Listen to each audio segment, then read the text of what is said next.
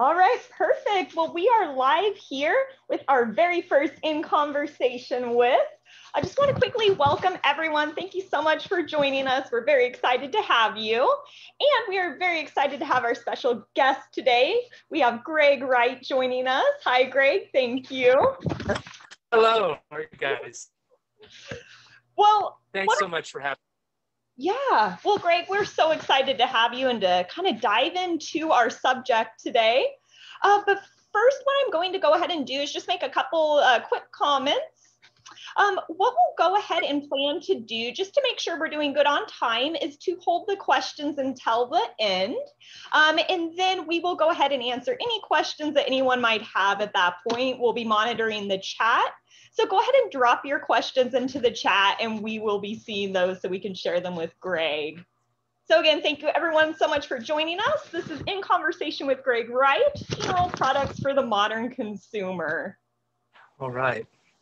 Well, Greg, why don't you tell us a little bit about your journey in the profession? What got you started and maybe the most valuable lesson you've learned so far? Wow. Well, I got started working with my mom and dad in 2010. And it's amazing how that, that 10 years has just flown by. And a lot of people say that in the last 10 years, the funeral service world has changed more than it had in the prior 100 years, or maybe 150 even. So it's been amazing to just be part of this change and just see the traditions that started. Um, my my dad started representing messenger stationery in the early 90s after um, adding that to representing Continental Computers. And through that time, when I came on, Messenger started adding some keepsakes that were other companies and rather than trying to invent the wheel they partnered with some of these companies and those are the companies we're going to be talking about today. And as far as ah, what i've learned is don't assume anything. I mean just like i've learned that some of our clientele that i didn't think would be interested in something new I'm really glad that I told them about it because I was blown away that they embraced it and wanted to learn more about it. And I can take that a little step further and I suggest that funeral directors might want to consider that with families as well. Most definitely. Well, what we're going to first talk about is actually going to be something that was new to me. Even as a funeral director, I had never heard about this. And what that is, is uh, DNA preservation. So maybe, Greg, you can just start by telling us what is it? I've, I've never heard it's, of it. it was amazing. I, I first encountered um, this company based in Thunder Bay, Ontario, that had it's it's run by scientists and they have mastered how to preserve and store DNA in small vials at room temperature. So it's really become a huge change in the way DNA used to be preserved. You know, we're just in the infancy of understanding the science around DNA. Um, you know, I'd liken it to how much we knew about blood transfusions in the 1600s.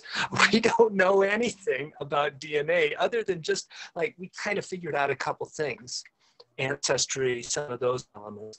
So by preserving DNA for future use, you can do tests for medical and genetic issues. Um, and you can also do the ancestry. You can do reports that are giving a little more deeper dive than you get from Ancestry.com, 23andMe. Definitely. It's amazing stuff. Post-mortem DNA. This is the last opportunity to save grandma's DNA to create a real family profile, to understand all the medical issues that may surround your family. Yeah, and it looks like we have some profiles here on the screen um, of a couple different people um, who've, who've chosen to do that. And great. It's just something. Oh, go ahead. Sorry. No, nothing. Please, you had a you had a question. No, I was just wondering what what's the collection process like? Is it invasive, easy to do? It's super easy to the point where we've had some funeral homes that were already doing swabs for every single case that came through. And so it, it required no additional work for them. They just were offering this service to the families then afterwards. So basically you take, you do two swabs on each side. So you mm-hmm. end up sending in four swabs. You don't need to send them in right away. Um, they will maintain their integrity for at least six weeks. So this way you've got it on hand. The family then can decide later on in that time before going to the expense of paying to get that preserved and then possibly getting the some of the different reports tied in with either ans you know it's like a premium ancestry report uh, or um, a genetic profile that talks about medical oh i see and it looks like they have some DNA keepsakes. Can you maybe talk a little bit about that? I'm familiar, sure. you know, with other cremation keepsakes, but what well, is that? That's it. They just recognize that for some people, the emotional connection mm-hmm. can be just as strong as any of the scientific background of mm-hmm. why you might want to save um, the DNA. But mm-hmm. some of these um, remembrance pieces the um, the egg shaped or the rings or the pendants, they will actually, just like what happens, like for with DNA Memorial, they mail in um, a box. You get a box. Inside it is uh, is this vial that shows the name on it, and this can be used in the future for up to 200 different DNA tests as we start understanding more and more about it. So, so just like with the DNA that has been saved on a substrate inside this vial, they'll use some of that material in these remembrance pieces that you see on the screen. Wow. And so I guess what kind of drew me to this was the name Lazarus DNA, you know, the biblical reference to Lazarus. Um, are they going to bring the dead back eventually or, what's, what's No, no, no, no. And there's no, there's no cloning. Okay. guys. Um, since they are in Canada, mm-hmm. there's the assurance, the privacy laws are much greater in Canada than we have here. So that all of that DNA information goes straight back to the family unless you decide that you want to have it stored in their facility there, but it's not shared with anybody. A lot of the places, if you are sending in for your own personal DNA to some of these different outlets that advertise a lot, mm-hmm. you've given all mm-hmm. that information up by and mm-hmm. you're sharing it with the world. So there's something safe about that. Lazarus DNA is the consumer facing side of DNA Memorial. They titled it that because they've done a lot of work with um, on research for investigations, police investigations with deaths and stuff, and you can identify bodies off of their DNA and recover them from post-mortem in some cases where you might not be able to. It, and they can do matches from things like hairbrushes and hats, pipes. It's really interesting, just the, the things that stick around, so to speak. So Lazarus DNA is a, an easy way for a funeral home that doesn't want to get involved with sending all this in. They'll do, they can get a swabbing fee and they will get a percentage of the price of the same sort of reports that are offered if the funeral home was to do it themselves. I see. So even similar to maybe how funeral homes have urns or merchandise on display, they could just have like a couple brochures, right? And then you exactly. know they don't have exactly. to sell it to the family. The family could just select it if it interested them. Exactly. And and it's not for everybody, but yeah. it's still one of those things and you can get around the discomfort of not being completely comfortable with explaining the process of collection or why even. Um, mm-hmm. Um, but it's still um, you can have these brochures available so the families know about it. You just want to do it before embalming or cremation to God. capture that. Well, maybe one day they can take it from ashes. You never know what the future holds, right? Yeah, I, I don't know. oh, wow. Well, I mean, this is just incredible. And these pieces here actually kind of remind me of what we're going to talk about next.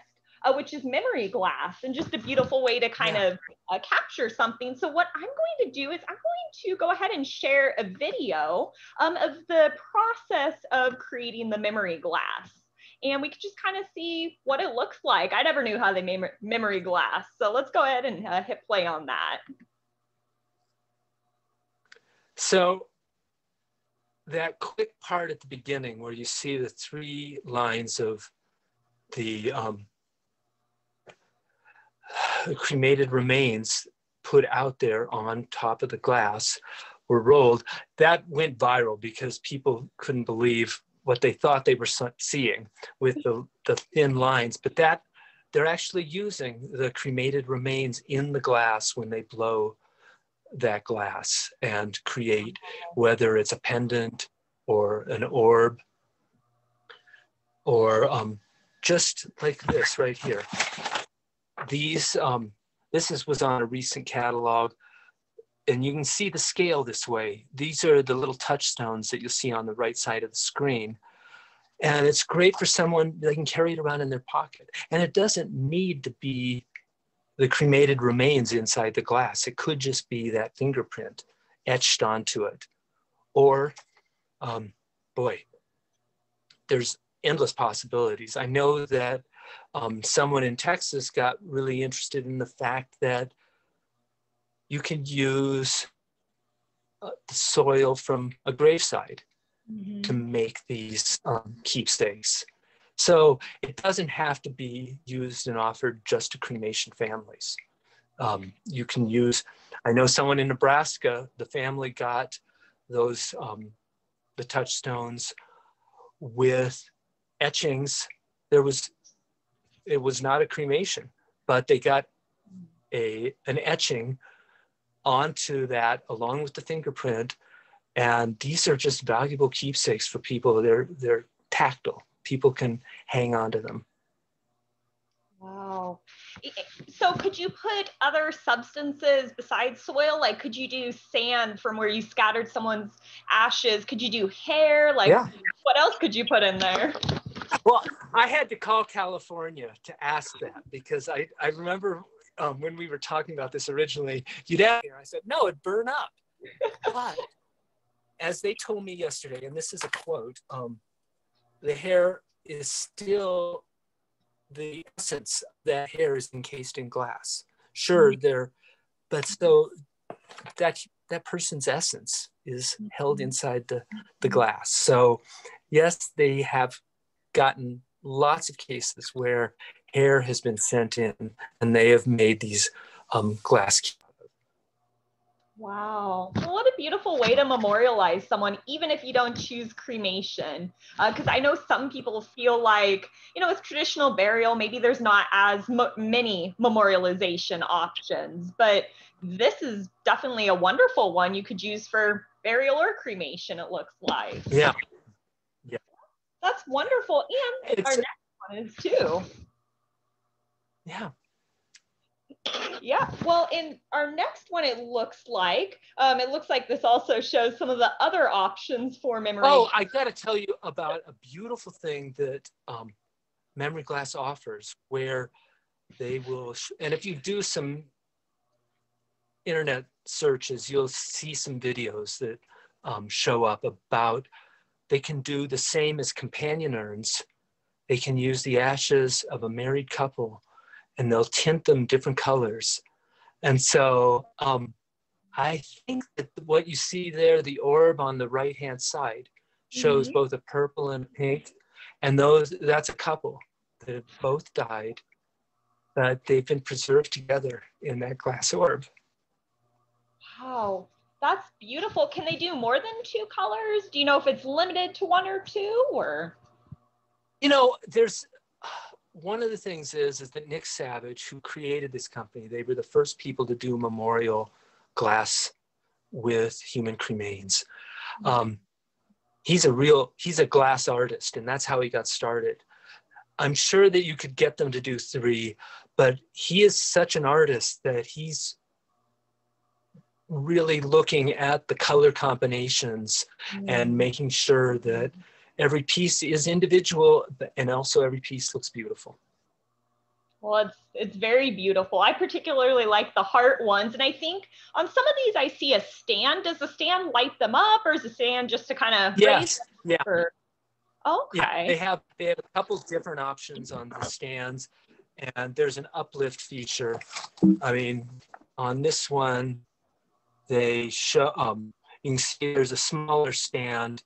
but by lighting it from below, you and this one, the stars that are in the top of the the flag symbol symbol here are the actual cremains. Oh, wow. But they do, they become really dramatic. I mean, I know funeral directors that will make sure they turn on that light in their arrangement room before they bring a family in. And it really draws attention. It becomes a focal point. Most definitely. That's cool. So that's something they could do for like maybe a veteran family or or whatnot, make that American flag. That'd be great. Yeah. This is one of the designs. So yeah, here's a case of three different colors. wow. Well, that's that's pretty incredible, Greg. And what we're looking at next would be our whoops legacy uh, touch, and this is also a good option for both burial and cremation families, correct? Oh, yeah definitely.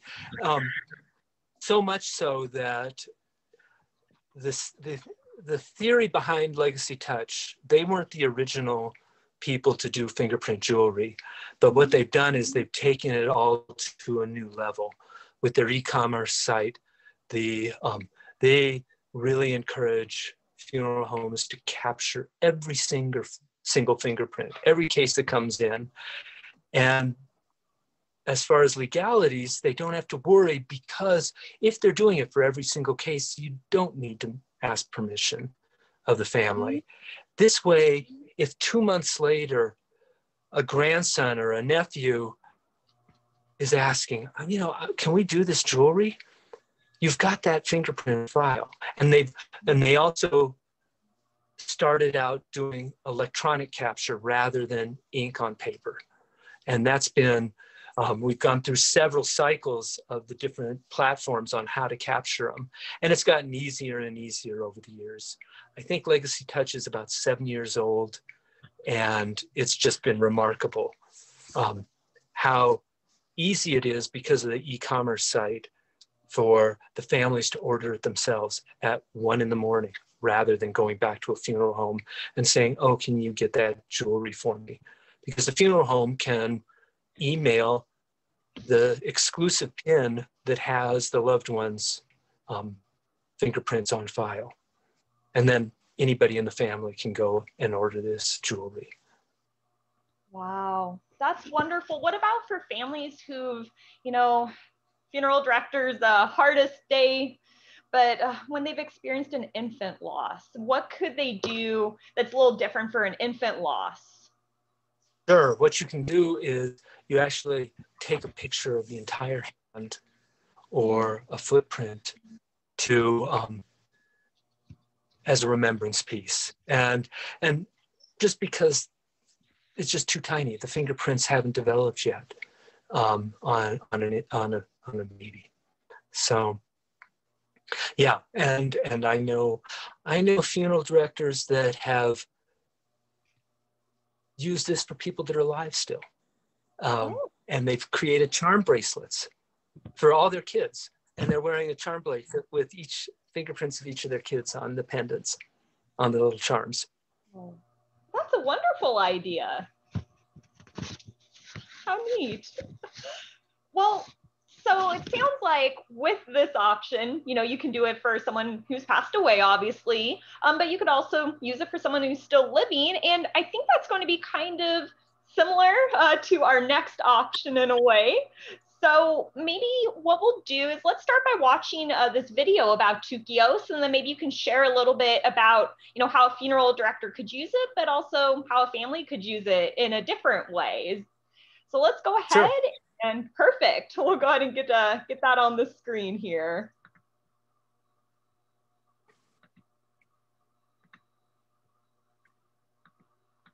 All right, this is a good. This is a funny video.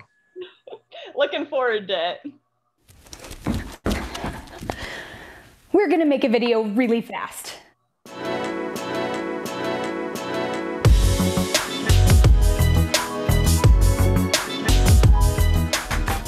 Hi, I'm Emily with Tukios, and today I'm going to show you how to make a tribute video in under one minute. So let's get started. First, click on Create New Video and you can type in the name and the dates for the subject of your video. Click Save and you'll be taken to the theme selection step, and here you can browse through one of our hundreds of themes to choose the one that's just right. Select your theme and you'll be taken to the upload link step. If you're going to be the only one editing the video, just go right to the slide step and click upload photos and videos. How fast your photos upload will depend on your internet connection speed.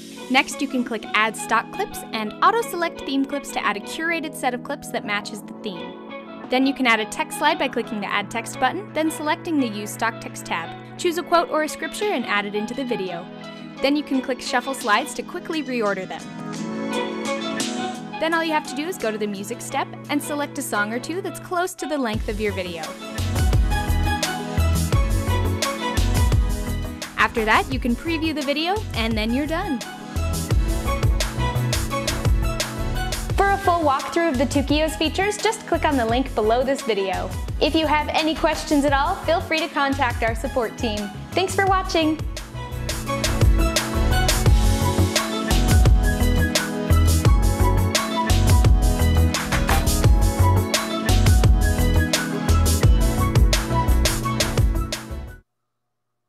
Yeah, the folks at Tukios have just done an amazing job in making it easy for people to make videos. It's an alternative and it's very inexpensive. Um, if you go through the messenger site, it's $18 to oh. produce these videos. I don't think I told you that before, did I? Oh, I'm shocked. um, yes, exactly. Um, wow. And a lot of um, a lot of people charge a lot more. What's also cool about Tukios is you notice that she says if you're the only one involved with uploading the photos, mm-hmm. you can mm-hmm. send out a, a link to the family that they can share. And so family members all over the country can be uploading their favorite photos. The big trick is, is you want to make sure that you do put a limit on it because otherwise you might end up with a 20, 30 minute video. But the good thing is, is that Tukios will allow you to make two versions with oh. for that same price without charging. So typically you would have you'd want to have a shorter video if you're going to use it in a funeral service. Mm-hmm. Um, if you're going to want to have a long keepsake video that um, people want to buy CDs or get a jump drive of the 45 minute video, mm-hmm. you can still do that for that $18. Wow. So you can revise the videos um, after the fact. Wow. And you can also send out a preview of the video before you um, finalize it that first time. So there's no charge to um, send it out so that the family can review the video first. Wow. It's pretty amazing. Um, yeah, it's a lot of people really enjoy making the videos. Some folks like to spend several hours doing it and they like to do that. So they're not necessarily candidates for Tukios. Mm-hmm. But if you're in a busy funeral home, this can let every single funeral director look like a pro without having the one person at the funeral home who does all the videos do it. Well, that's wonderful. And I know there's instances where families make their own video, they bring it in, freak out mode, it doesn't play on the uh, AV yeah. system. So having this option that's affordable is a great way to entice families, correct? To make a video we know is exactly. going to work. And you can turn over all those features to a family member if it's appropriate. If you feel comfortable with it, you can let the grandson that was going to do the video that might not work when it comes to time for the service, let them play with the system and go through and build the video. They, the family feels a sense of ownership. The guests sit through a, a, a nice professional video that um, is easy to watch. so it's a win for everyone.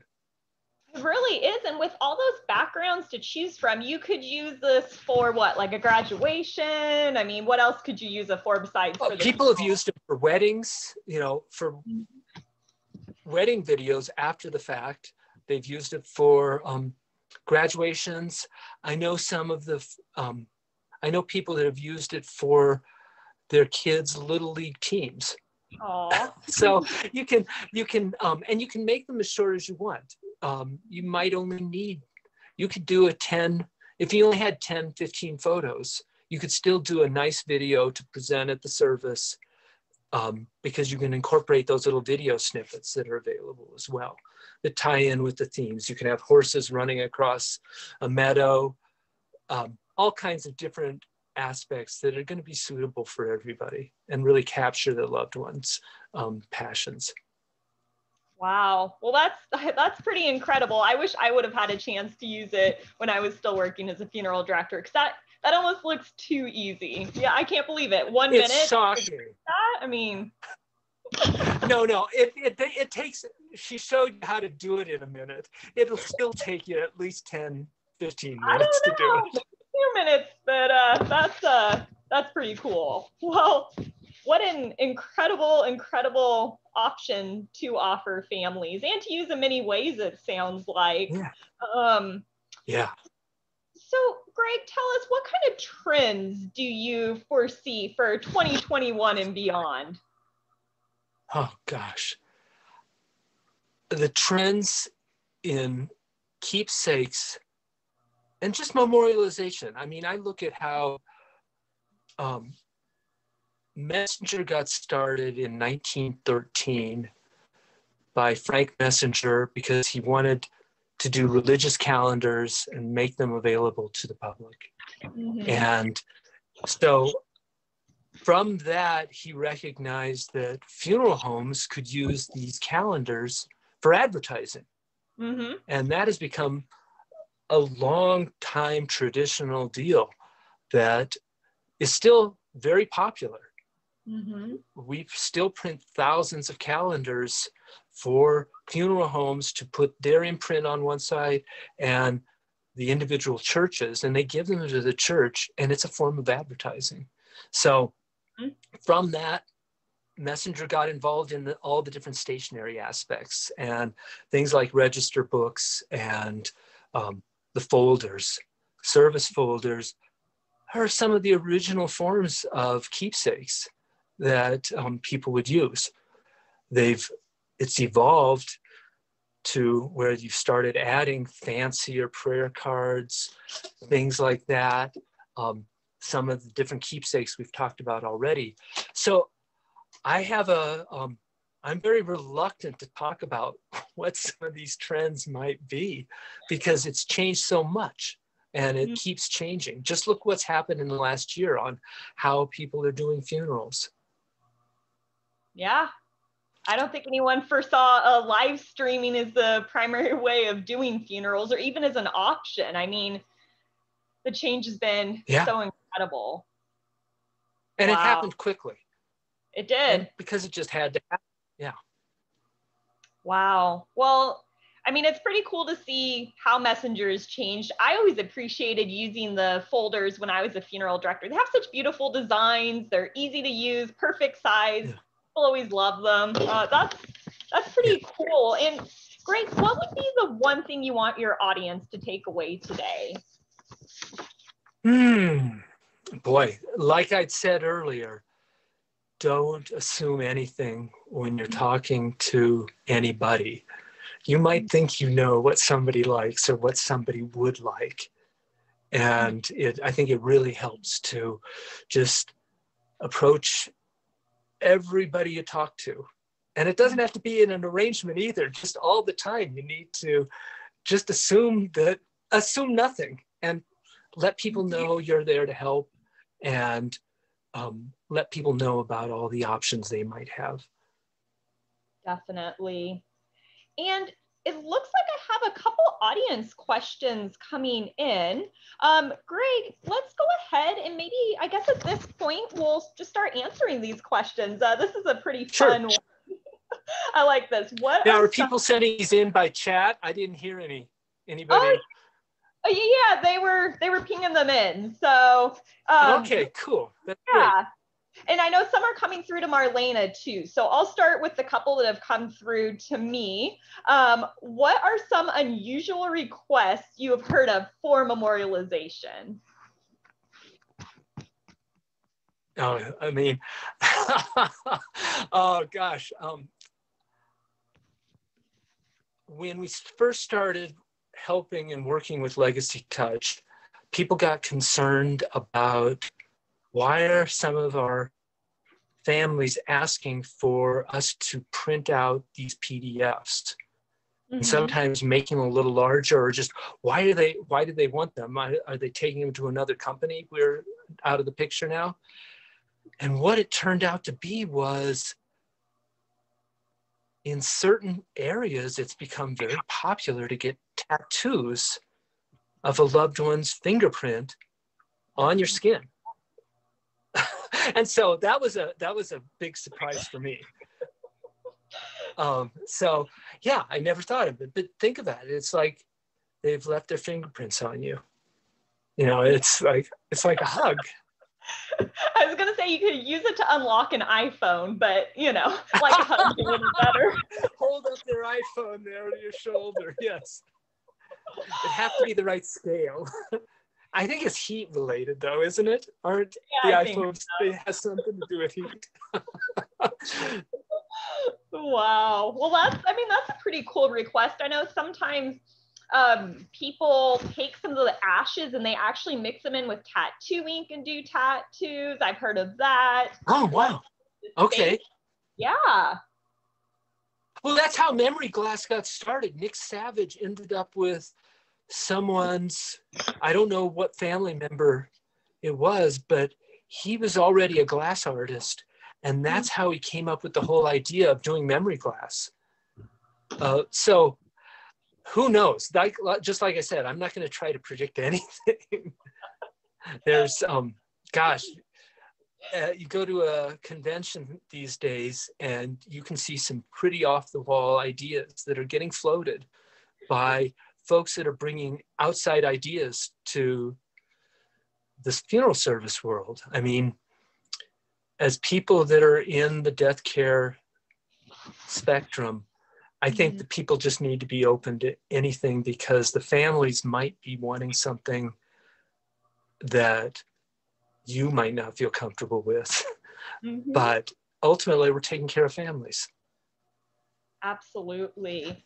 And I'm also seeing one more question coming through. Oh, it looks like two. Uh, one of them is Do you think families are delaying memorialization due to COVID?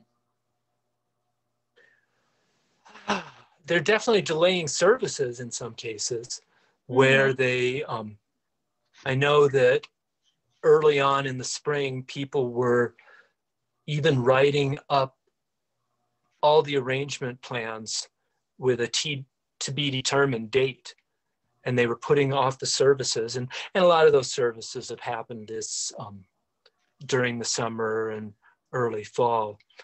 But for instance at legacy touch may was one of their biggest months ever.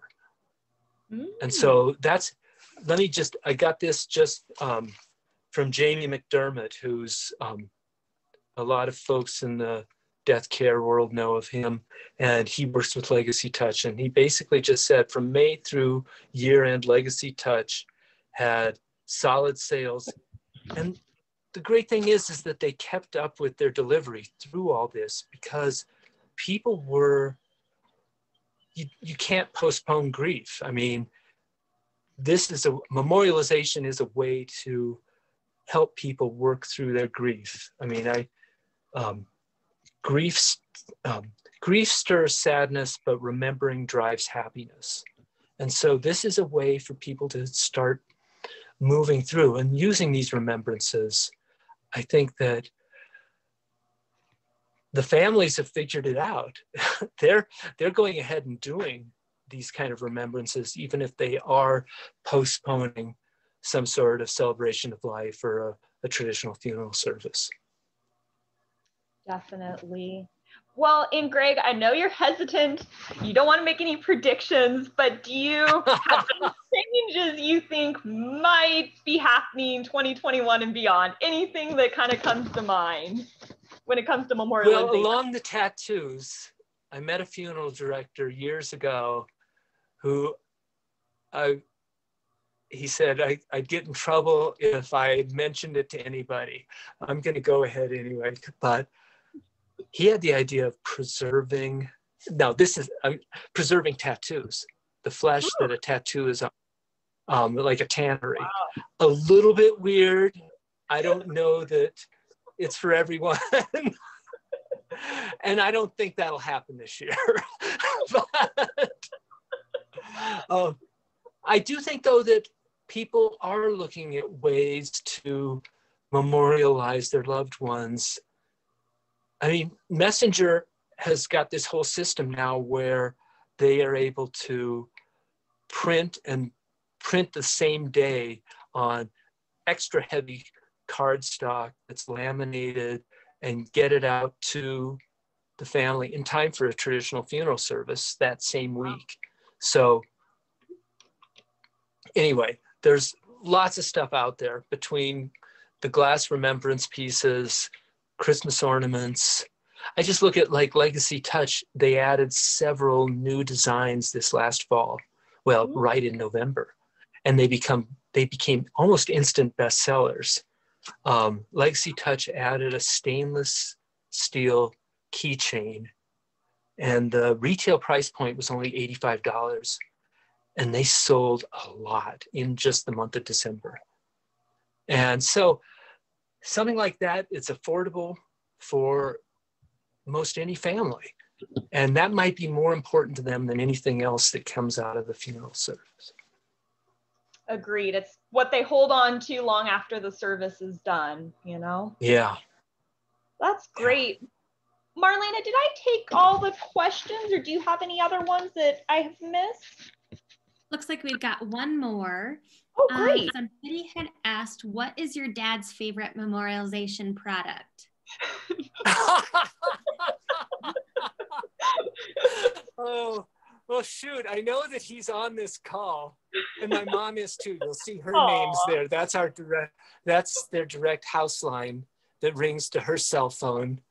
But he has a ter- um, he's got it so he's using Bluetooth with his hearing aids um, on his cell phone, and that's why we get out his cell phone separately.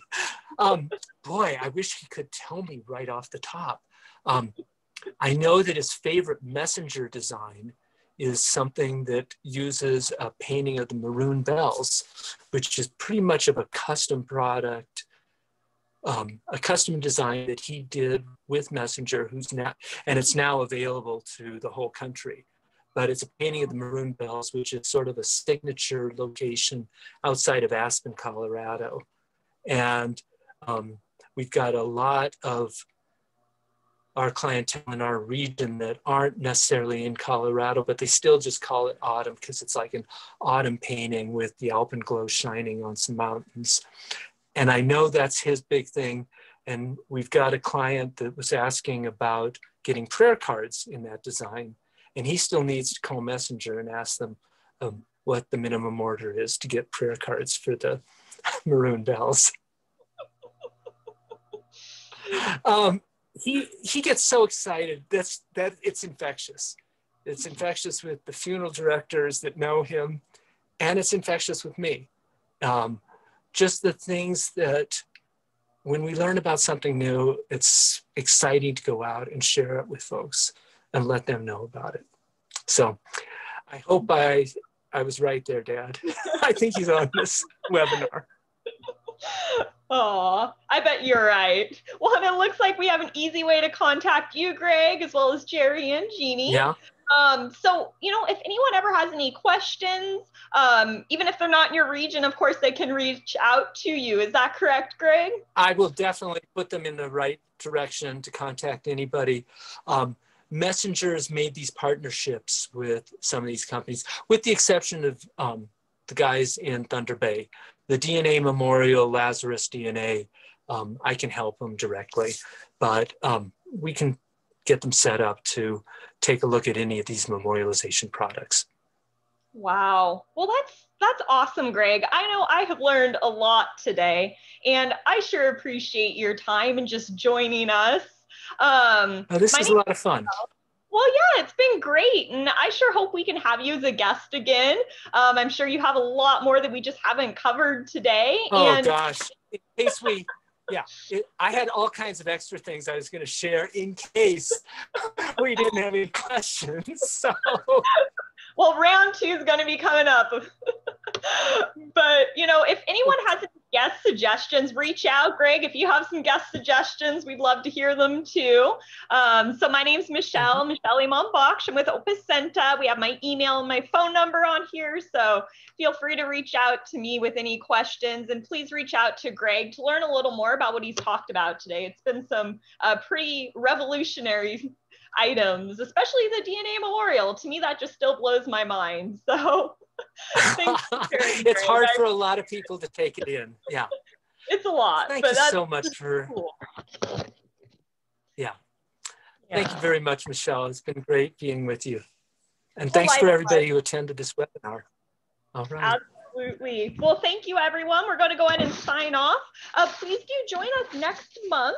We have another special guest. Her name is Nancy Weil, and we would love to see you there. So please do sign up for that. And again, Greg, Marlena, everyone who joined us, thank you so much for being here. Thank you so much. All right. All right. Bye now. Bye.